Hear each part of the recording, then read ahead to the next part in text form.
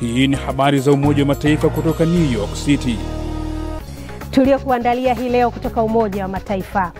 Harakati za kuondokana na ujinga wa kutokujua kusoma na kuandika zaanza kuzaa matunda nchini Kenya. Wanufaika wafunguka. Nilianza kama sijui chochote. Wakati nilianza nilikuwa nafundishwa kwa kuandika na kusema ABCD, na sasa naweza kusoma saa naweza kuandika. Hata nikiambiwa Kisungu naweza ongea, Kiswahili naweza ongea. Kwa hivyo ndafurahia. Na leo Alhamisi ni siku ya kujifunza lugha ya Kiswahili. Paka hakubali kulala chali. Karibu. Ni Alhamisi ya tarehe ishirini mwezi Oktoba mwaka elfu mbili na ishirini na mbili nami ni Lea Mushi ninakukaribisha katika habari za UN. Leo ni mada kwa kina, tunamulika harakati za kutokomeza ujinga wa kutokujua kusoma na kuandika nchini Kenya. Lakini kwanza, kabla ya haya yote, tupate habari kwa ufupi zinazoletwa kwako na Asunta Masoi. Habari kwa ufupi. Shirika la Umoja wa Mataifa la mpango wa chakula duniani WFP linaendelea kufikisha msaada wa kuokoa maisha ikiwemo chakula na huduma za lishe kwa mamilioni ya watu nchini Somalia, hasa wakati huu ambapo nchi hiyo imegubikwa na hatari ya baa la njaa.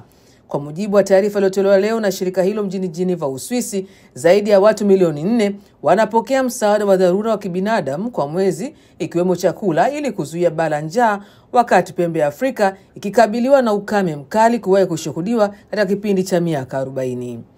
Tukisalia pembe ya Afrika, balozi mwema wa shirika la Umoja Mataifa la kuhudumia watoto duniani UNICEF Priyanka Chopra Jonas amefanya ziara ya siku mbili nchini Kenya kujionea athari za ukame uliokumba pembe ya Afrika na kusababisha mamilioni ya watoto kuugua utapia mlo mkali.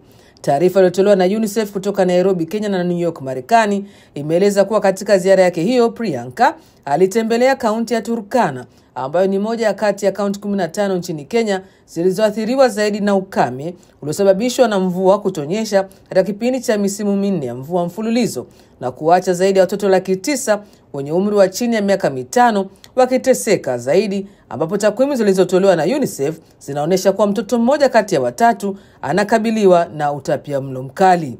Na katibu mkuu wa Umoja Mataifa Antonio Guterres aliyeko ziarani nchini India amezindua mpango wa mtindo wa maisha unaojali utunzaji wa mazingira na kuhimiza wananchi wote kubadili mitindo yao ya maisha na kuishi maisha ambayo yanazingatia si tu kulinda mazingira bali pia kujali kizazi cha sasa na cha baadaye. Akizungumza katika uzinduzi huo uliofanyika katika sanamu ya Umoja huko eneo la Ekta Nagar huko Narmada nchini India, Guterres amesema wakati huu ambapo dunia inakabiliwa na changamoto lukuki ni wakati mwafaka wa kuweka msisitizo katika kuitunza sayari dunia. Mwisho wa habari kwa ufupi.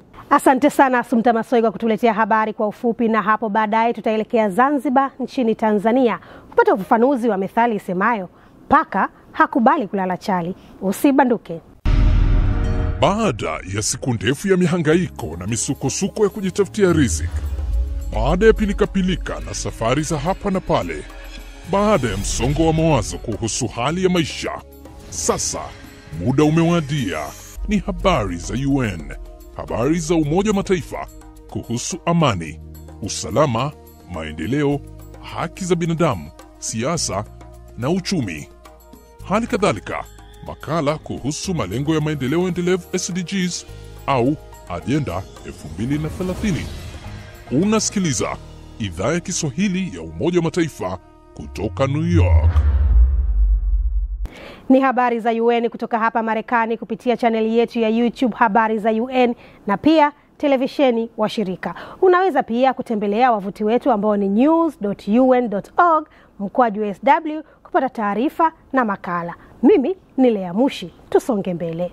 Na sasa ni wasaa mada kwa kina, na tunaelekea nchini Kenya kumulika harakati za kutokomeza ujinga wa kutokujua kusoma na kuandika kupitia elimu ya watu wazima au ngumbaru.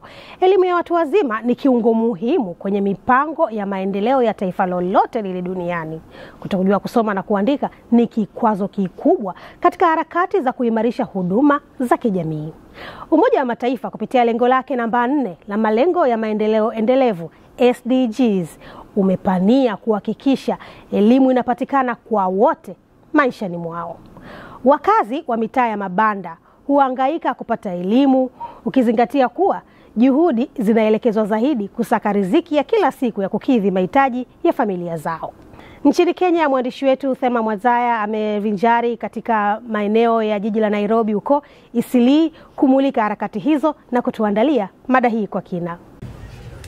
Huu ni mtaa wa mabanda wa Kiambio ulioko mashariki mwa jiji la Nairobi, eneo la Isilii. Wakaazi ni wengi na nyumba zimesongamana.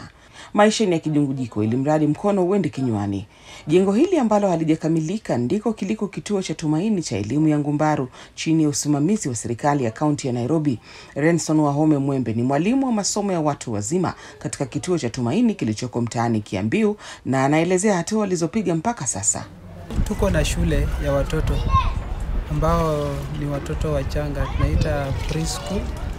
Na wakati tulianzisha preschool, tulirealize ya kwamba wazazi wengi hawajui kusoma, hawajui kuandika.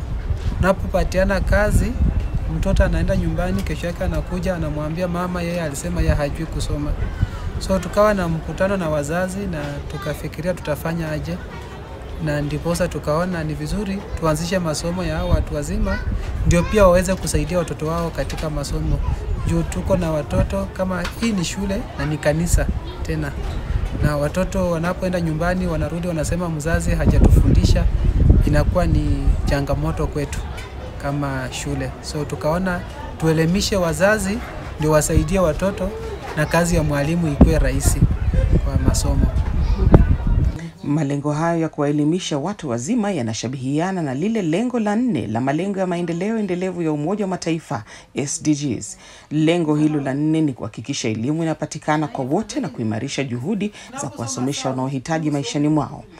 Washington Ouma ni mwanafunzi katika kituo cha Tumaini na haya ni maoni yake. Nilikuwa nilifika form 3 and uh, niliambiwa ifa niko na interest ya kukuja shule kwa sababu mi niliacha shule kwa sababu ya karo na wazazi. So nilipoambiwa kuna darasa yenye unalipiwa, nikasema ni poa, ni vyema nikuje. Ili kuimarisha mpango wa kuwapa elimu watu wazima, kaunti ya Nairobi imekuwa mstari wa mbele kuhakikisha kuwa wanaohitaji wanaipata karibu na makazi yao. Baadhi ya juhudi hizo ni kuwa na maktaba za kuhamahama ili wanafunzi waweze kupata vitabu vya kusoma kwa urahisi.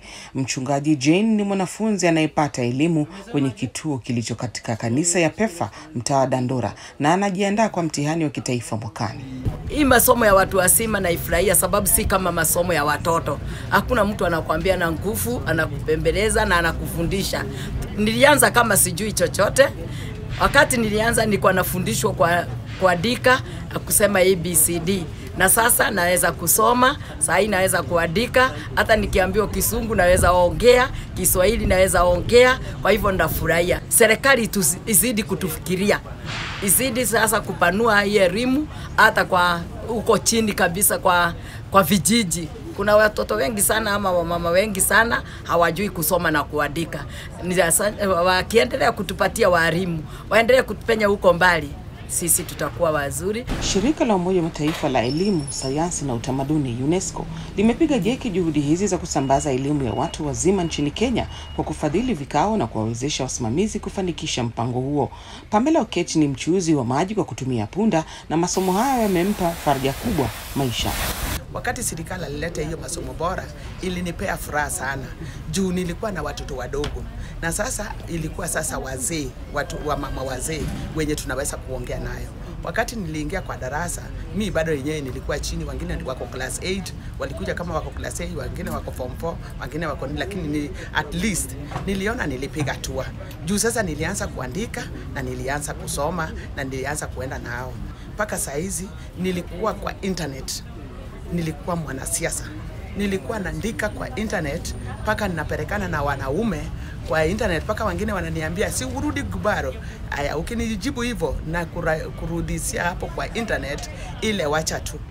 Kulingana na kiashiria cha nne cha lengo la nne la SDGs, azma ni kuiongeza idadi ya vijana na watu wazima walio na elimu ya kiufundi au taaluma ifikapo mwaka elfu mbili na thelathini. Salome Tera ni msimamizi wa elimu ya watu wazima katika kaunti ya Nairobi na anaimani juhudi zao zinaleta tija japo changamoto zipo. tunapowaleta kwa, kwa masomo yetu ya watu wazima, hapo kitu ya kwanza, kila mwanakisomo ana kitu anajua. Kuna wana wanajua bidwa, kukari, kuna wana wanajua kushona several things. Anapoingia hapo, pengine amekuja biashara yake haifanyi mzuri, anapatana na mwingine alikuwa amekuja kujifundisha tu kusoma na kuandika, anapatana na mwingine alikuwa amekuja tu kujifundisha kusoma ili asome Biblia. Hapo unapata unauliza wanakisomo, nani anajua kufanya ila, unasikia anasema mimi najua kupika mandazi, atafundisha wengine kupika mandazi. Mimi najua kushona crocheting, atafundisha wengine. Kwa hivyo kuna kubadilishana mawazo na kujifunza skills mbalimbali, na penye unapata haziko tunaita even resource persons wanakuja kuwafundisha. UNESCO umekuwa msaada sana kwetu, manake UNESCO ina promote lifelong learning. Sasa UNESCO ina promote lifelong learning, unapata tuna partner na wao. Kwa mfano, tukimaliza hii event tutaenda kwao tuombe, tunataka tufanye training advocacy, tufanye capacity building ya walimu. Juhudi za kupambana kutojua kusoma na kuandika zimeshika kasi. Kituo hiki cha Tumaini kimeleta faraja kwa wanafunzi wake. Elimu haimtupi yoyote. Thelma Mwazaya, UN News, Nairobi. Tunakushukuru sana Thelma Mwadzaya kwa mada hii kwa kina na heko, wanawake, wanaume na vijana mliotambua kuwa kujua kusoma na kuandika ni mkombozi. Na sasa ni wasaa wa kujifunza lugha adhimu ya Kiswahili. Dkt. Mwanahija Ali Juma, katibu mtendaji huyu wa Baraza la Kiswahili Zanzibar BAKIZA, anachambua methali isemayo paka hakubali kulala chali. Paka hakubali kulala chali. Kwa hakika methali hii inamkusudia ni mtu ambaye hakubali kushindwa kwa jambo fulani. Kama tunavyomjua, paka ni mnyama mdogo ambaye katika maeneo fulani hakubali kushindwa, hakubali, anapapatua. Kwa hiyo na huyu binadamu ambaye hakubali kushindwa jambo lake anapotaka kufanya, anataka ashinde tu kila mara. Shukran sana Dkt. Mwanahija Ali Juma kwa elimu hiyo. Na wahenga walinena kila chenye mwanzo hakikosi kuwa na mwisho, na mimi sitaki kushindana na wahenga, ndiyo maana nakunja jamvi la jarida hili. Tutakapotana tena wiki ijayo, ndio tutaendelea na jarida jingine, lakini kumbuka, unaweza kutembelea wavuti wetu ambao ni news.un.org mkwaju sw kupata taarifa na masuala mbalimbali. Tutakujuza kadi yanavyoendelea kutufikia. YouTube subscribe, akaunti yetu ni habari za UN na huko Twitter at habari za UN. Kwa niaba ya wote waliofanikisha jarida hili, mimi ni Lea Mushi, aliye nyuma ya kamera ni Asumta Masoi na mwandaji wa kipindi hiki ni Thelma Mwazaya na Arnold Kayanda. Nasema kwa heri kutoka Umoja wa Mataifa, New York, Marekani.